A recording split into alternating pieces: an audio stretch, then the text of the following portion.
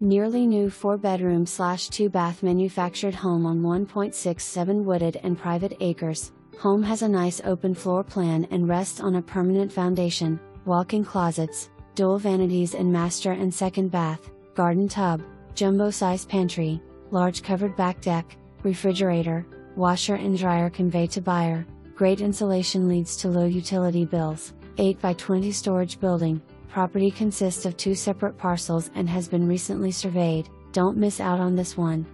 For more information, review the details below.